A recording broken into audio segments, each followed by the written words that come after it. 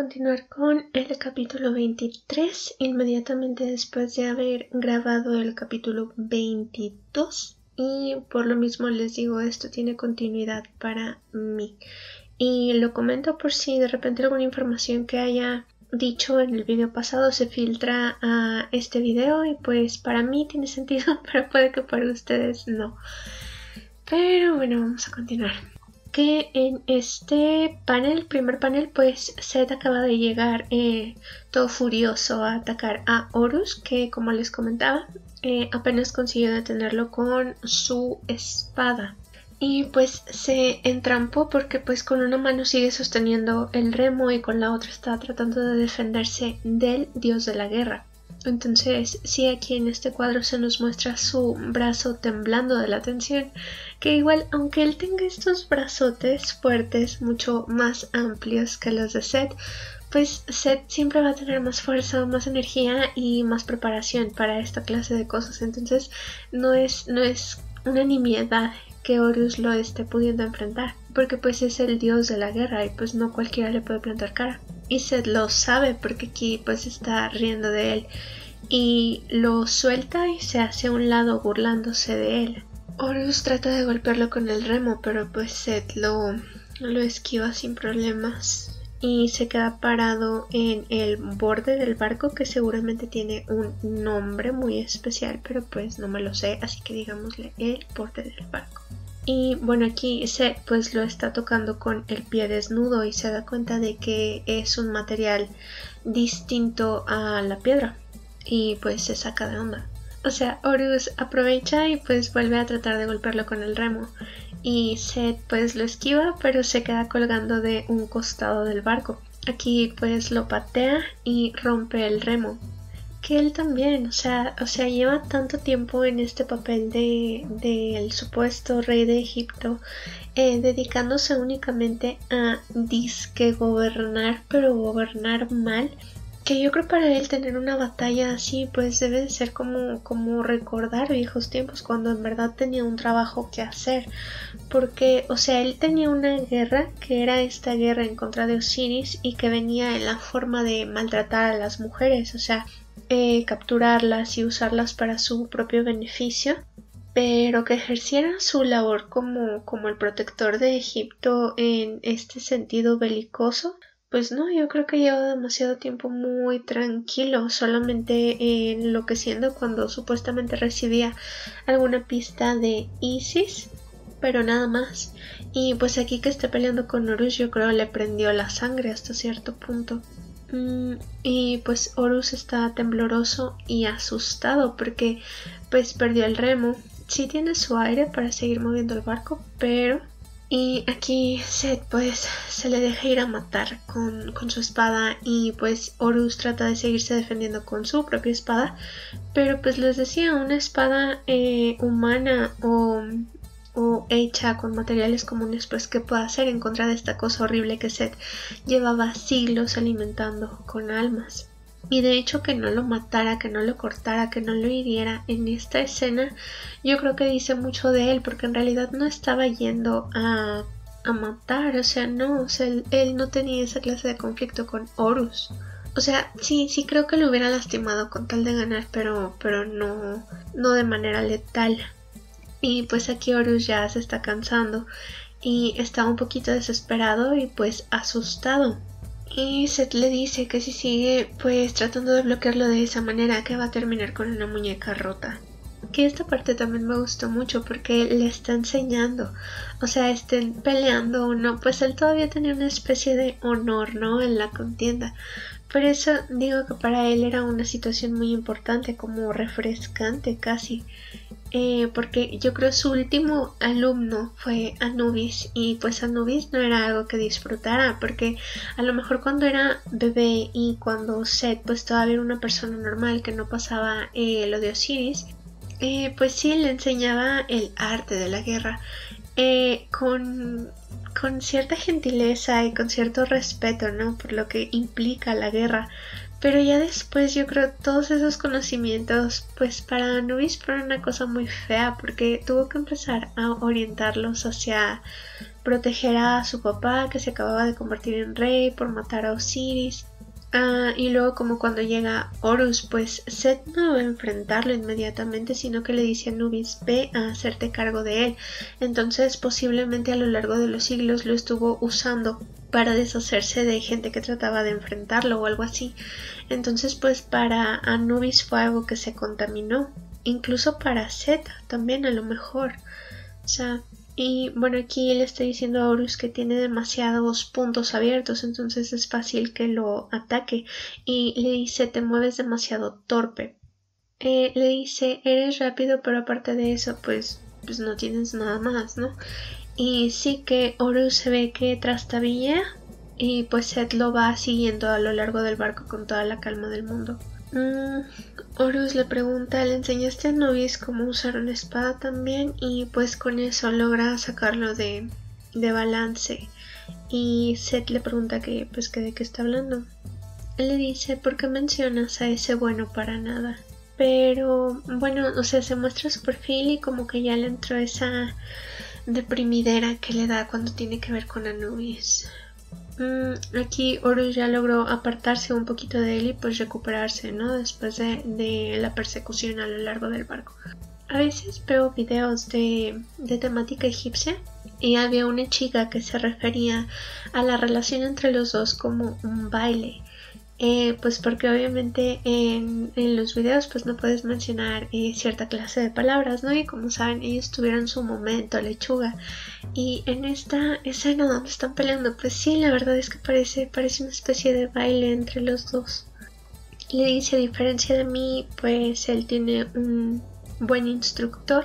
Eh, dice, dudo que el hijo del dios de la guerra solamente sepa usar una lanza. O sea, pues que recordemos que Anubis tenía una armería. Y aquí, o sea, no pudo atacar a Seth físicamente, pero lo está atacando con el comentario acerca de Anubis. O sea, porque yo creo Horus sabe que, el punto débil de, de Seth pues es su hijo. O sea, nadie lo ha mencionado. Se supone que si estás leyendo por primera vez, pues tú como lector tampoco lo puedes saber. Mm, pero él con su intuición yo creo fue, fue algo de lo que se dio cuenta muy rápido. Que a Seth también yo creo le molesta este lado de él porque pues Osiris se metía con él también usando las palabras. Entonces yo no creo que le guste que le estén sacando sus trapitos al sol.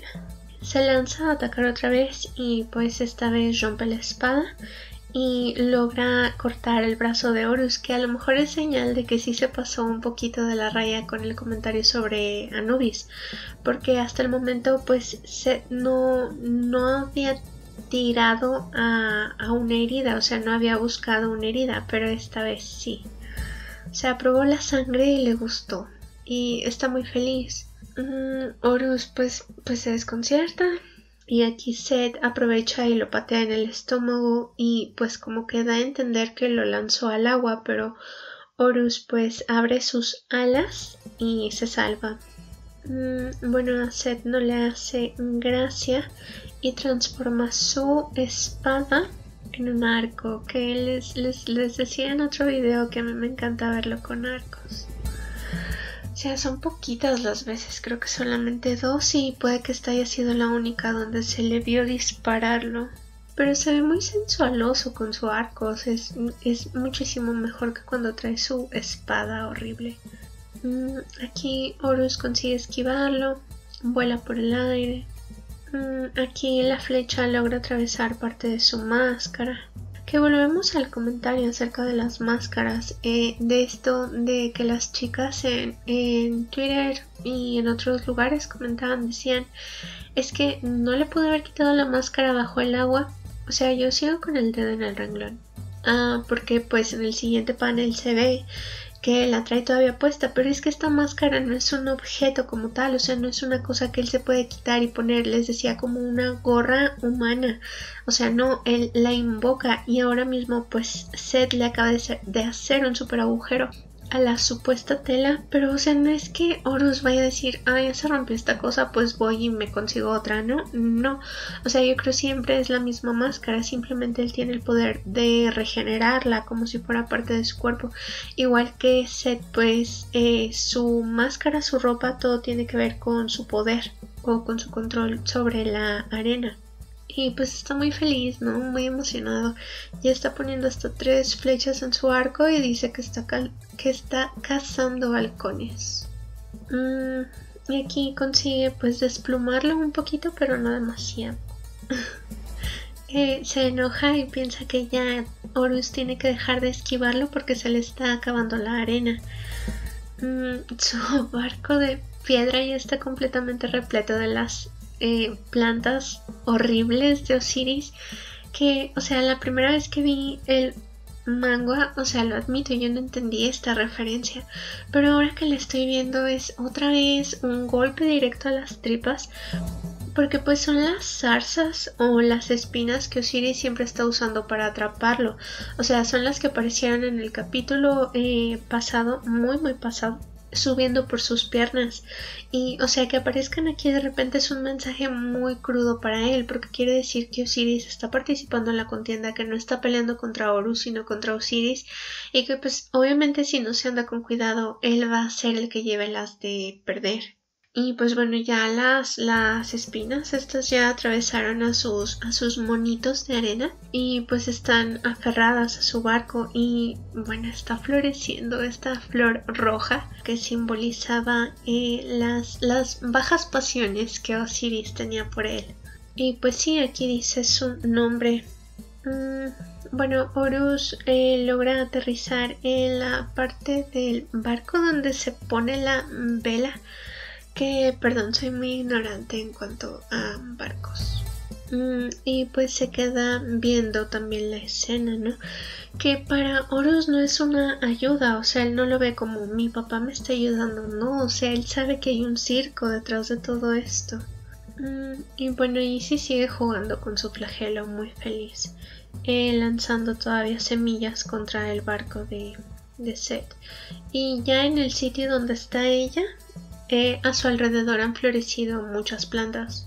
Que Osiris era el dios de las cosechas, de los cultivos, o sea, no era el dios de la vida como tal, no era el dios de la esencia de la vida como tal, sino que se le consideraba el dios eh, de la vida por su habilidad de hacer crecer precisamente los cultivos y de beneficiar a las personas con su eh, con la agricultura y esa clase de cosas y pues sí se le solía em, retratar eh, con determinadas clases de plantas, por decir el árbol de la acacia, que es muy característico de, de Egipto. Pero bueno, o sea, ese árbol que también tiene una tradición eh, dentro de la mitología como árbol de, de los muertos, algo así como un árbol entre la vida y la muerte, eh, pues tiene habilidades muy curiosas, porque por decir, empieza a sentirse atacado por una plaga y empieza a liberar una especie de resina para protegerse. O también llega algún depredador por decir las jirafas o cualquier otro animal que se alimente de su corteza o de sus hojas y pues empiezan a emitir como una, una señal química para alertar las acacias de los alrededores que también la deben de emitir para protegerse de los depredadores. O sea que un árbol como muy muy guerrillero sí es, entonces yo creo que puede ser la opción para, para ser el árbol de donde surge Osiris. Que también, eh, bueno, sobre el mito de Osiris, que ya sabemos que está también muy relacionado con, eh, con los ciclos, con los cambios de las estaciones. Igual que el de Perséfone y el de Adonis en la mitología griega, que por decir el de Perséfone era la temporada que ella tenía que pasar en el inframundo y pues en ese tiempo nada florecía sobre la tierra. Y de Adonis también que nada más fue este fulano guapo eh, pues que se murió y también como que simbolizaba las cosechas y esa clase de cosas, ¿no? Eh, pero en realidad en su caso pues nunca ha estado demasiado claro y pues Osiris se compagina con esa clase de deidades de, de ciclos o cíclicas de muerte y resurrección y esa clase de cosas Y pues aquí sus espinas siguen atacando el barco de, de Set. Ay, bueno, bueno, aquí Isis voltea con su cara toda envidiable y piensa cuando las semillas eh, florezcan sabrás qué hacer y Horus pues agacha la carita y dice sí madre o sea son las 2.16 de la mañana y la verdad es que cuando estoy grabando estas cosas pues sí estoy un poquito medio medio cansada. Pero ahorita se me fue súper gacho la onda porque dije le está dando un llegue Dios mío pero no o sea o sea simplemente se, se bajó del sitio donde estaba y le llegó a Seth por detrás. Eh, le dice, no hay forma de que pierdas sobre el agua, tío. Y pues le está hablando prácticamente al oído y Seth pues se queda con su cara y este tipo cuando llegó por atrás que no me di cuenta. Ay, qué hermoso es el amor, en serio, el, amor correspondido. Iba a decir otra cosa, pero no, el amor correspondido. El que entendió, entendió. Y bueno, aquí se dan un abrazo amoroso que no es cierto, pero es lo que quisiera que hubiera pasado. Y bueno, Horus este, lo levanta, lo, lo sujeta por debajo de los brazos y pues se lo lleva volando, ¿no?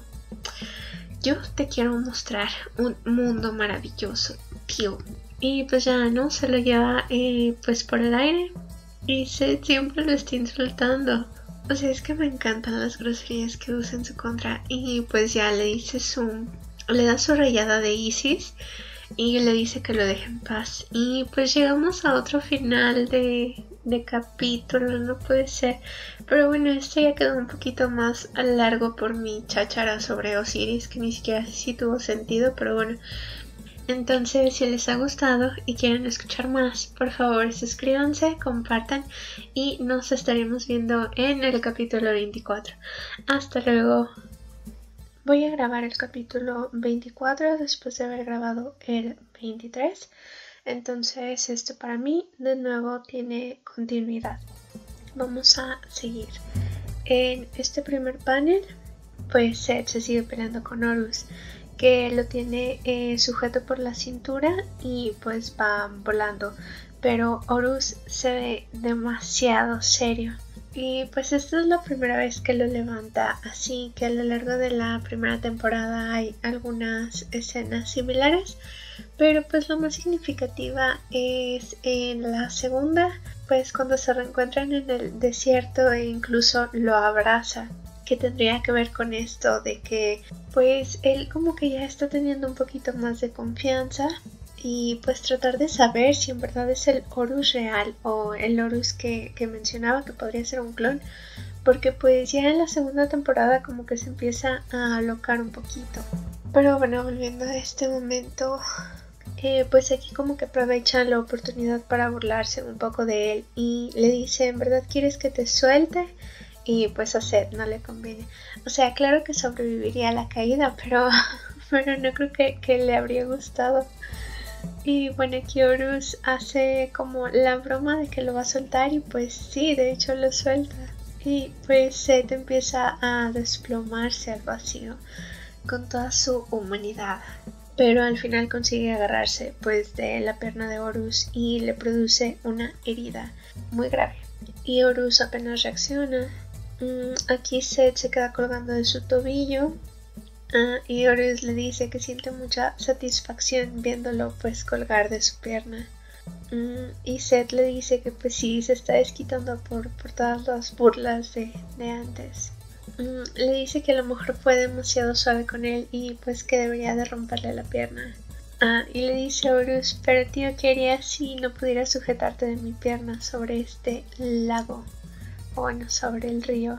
Y Seth se molesta y bueno que Horus ya, sabe que su debilidad es precisamente el agua y le dice que no tiene nada de arena cerca para, pues, para protegerse, que incluso su barco ya fue destruido por la cucharota de Osiris. Y a Seth pues no le hace gracia, dice que su obra de arte fue destruida y se ve que se hunde, peor que el Titanic. Ah, le dice que pues que no se va a deprimir por haber perdido su bote, que fácilmente puede matar a Horus y quedarse con el suyo. Mm, aparece una mano gigante de arena. Horus vuela más lejos, pues precisamente porque la arena que Seth está usando es de debajo del agua, entonces pues no tiene demasiado control sobre ella. Pero a ver, veamos si hasta en Avatar Toph logró usar la arena control. Y yo creo que tú también te puedes esforzar un poquito, Seth. Mm, y Horus le dice, entonces es verdad que sin ayuda del desierto eres un debilucho. Pero pues aquí es un comentario tan poco afortunado porque es justo lo que Osiris le decía antes, que, que sin él pues nunca habría podido convertirse en el dios del desierto, que nunca nadie lo habría respetado, que no habría tenido poder. Entonces como que Horus está teniendo muy mala suerte a la hora de usar sus, sus comentarios en su contra, a menos que lo esté haciendo a propósito. Y bueno, aquí Seth pues ya enloqueció otra vez y pues ya eh, levantó pues demasiada arena y está tratando de llevarla hacia donde están ellos. Aquí Horus pues en medio sobresalta y se está sujetando la herida que Seth le había hecho en el brazo. Le dice que pues que lo mismo no va a funcionar con él dos veces y de nuevo empieza a volar y está tratando de deshacerse de Seth y pues Seth está un poquito alarmado. Aquí Horus lo patea lejos y lo manda volando hacia su arena. O sea, le daba miedo que lo soltara eh, desde cierta altura en el agua, pero pues en vez de eso se ganó que lo mandaba volando, yo creo, un kilómetro hacia un cúmulo de arena. Pero aquí, pues pensemos, o sea, lo hizo a propósito mandarlo hacia su elemento o pues solamente lo quería fastidiar. Y pues aquí Seth sale de la arena y está muy enojado. Y bueno, o sea, Horus le ganó la contienda, pudo llegar a su barco y tocar el muelle. Y pues Seth se quedó atrapado en su cúmulo de arena, pero pues eso le pasó por bravucón. Y pues aquí se queda temblando de coraje, golpeando la arena, muy fastidiado. Y pues Horus ya está enfrente de Matt. Ay Dios, qué hermoso cuando sonríe. Pues voltea a ver su berrinche y pues, pues sonríe todo hermoso. Que, o sea, descubrí que en el fandom muchas odian a Horus, pero es que no, no logro explicarme por qué. O sea, es que es tan adorable, es tan bonito. O sea, es muy raro que, creo que Anubis es el que más eh, fans tiene. O sea, hay, hay personas que quieren que se quede con Seth, de hecho, pero, pero, miren, no me voy a meter en ese terreno. Este, pero yo pensaba, ¿por qué? O sea, a mí Horus me encanta, o sea, es un personaje muy bueno, pero pues obviamente también reconozco que tiene sus fallos, como los que he estado mencionando en otros videos. Pero digo, o sea, si nos ponemos técnicos, ¿por qué será? O sea, y no sé, o sea, es que Anubis está como paliducho, eh, un poquito más llamativo, como que trae esta onda rockera, rara. Eh, y digo, tendrá que ver el color de piel. Que, que, que no creo, ¿no? Pero, pero pues, es una hipótesis. O esta escena, o sea, el momento lechuga, como les digo, que eh, para muchos sí es un momento muy amargo, pero, pero yo digo, es que no era Horus en sí, o estaba siendo manipulado por el espejo, por Sekhmet, por Hathor. Entonces, que él lo decidiera, pues no.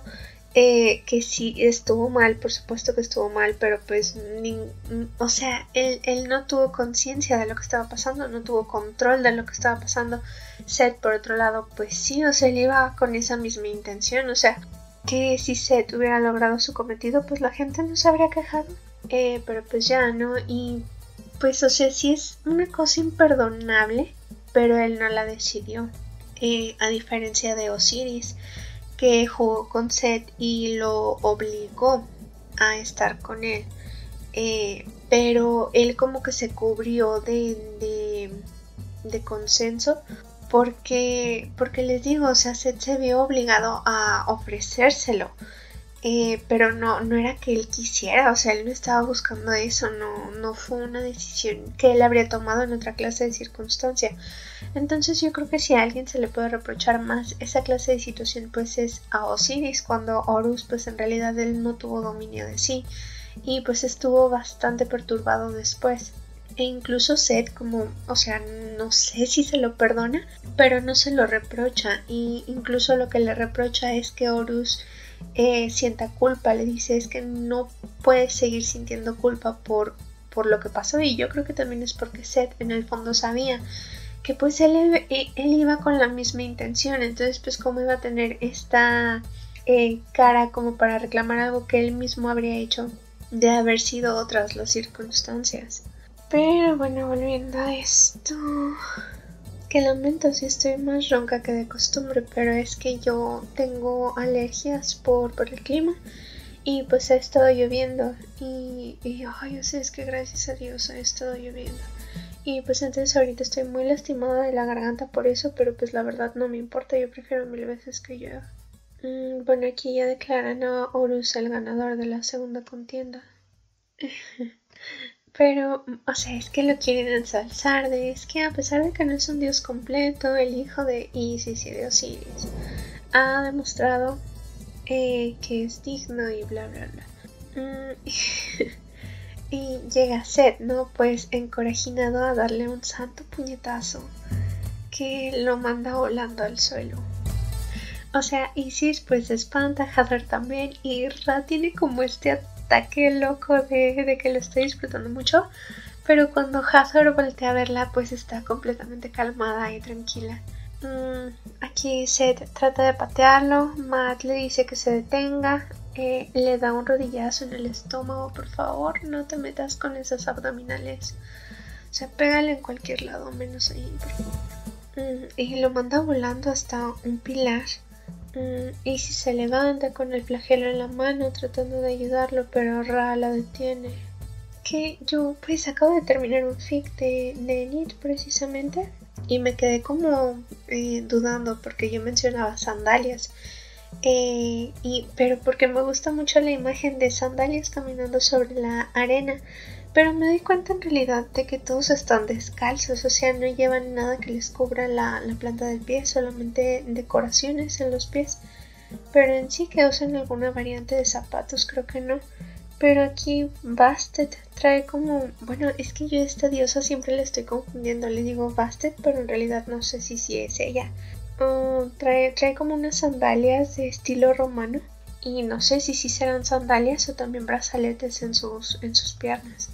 Mm, Hazard es la que consigue levantarse de su silla y pues para ir a chismosear qué le pasó a Horus. Y yo creo meterle una toqueteada que yo también lo habría hecho a decir pero yo sí sé primeros auxilios. Yo sí sé poner una venda Hazard. En tu cara. Mm, le preguntan a Seth que qué está haciendo que el encuentro ya terminó que lo que hizo es una violación a las reglas y pues les grita que se callen, que vean el barco y pues lo lleva transportado en una eh, montaña de arena. Les pregunta que si el barco les parece de piedra y pues aquí Horus está pues tirado en los escombros del pilar que rompió. Y ya llegamos al final de otro capítulo. Es que estos están yendo como el agua entre los dedos, en serio. Eh, pero bueno, entonces, eh, si les ha gustado y quieren escuchar más, por favor suscríbanse, compartan y nos estaríamos viendo en el capítulo 25. Hasta luego.